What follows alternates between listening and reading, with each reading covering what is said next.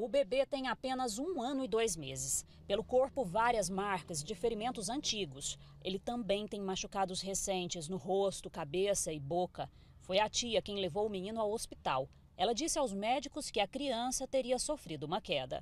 Segundo o Conselho Tutelar, o médico que atendeu a criança também é médico legista do IML e de imediato constatou que as marcas e lesões não eram normais de estarem no corpo de uma criança. Por isso, o hospital acionou o Conselho Tutelar. A enfermeira-chefe nos recebeu, nos encaminhou para uma sala de emergência onde a criança estava sendo medicada e o médico estava avaliando juntamente com os enfermeiros. Lá mesmo, ele disse para nós que poderia ser suposto maus tratos. O Conselho Tutelar sabe muito pouco sobre a mãe e o pai do bebê. Eles seriam do Maranhão. A tia trouxe o menino para criar.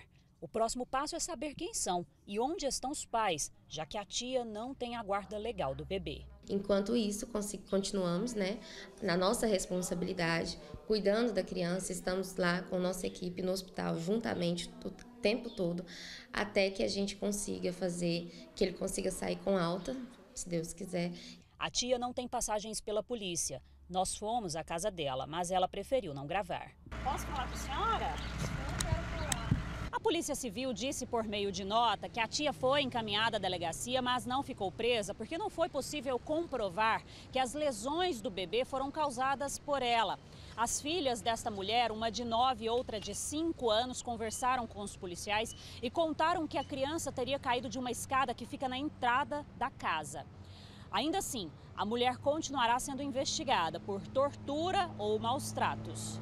O bebê continua internado no UGOL e, quando receber alta, possivelmente será levado ao abrigo de Goianeira.